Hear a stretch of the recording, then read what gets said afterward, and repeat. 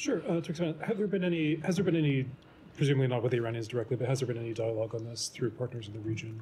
Um, Look, uh, when it comes to countering uh, Iran's destabilizing actions, that continues to be a, a, subject of conversation when it comes to uh, our, our, talks with uh, partners uh, around the world, but especially those uh, in the region who are at immediate impact at some of these activities.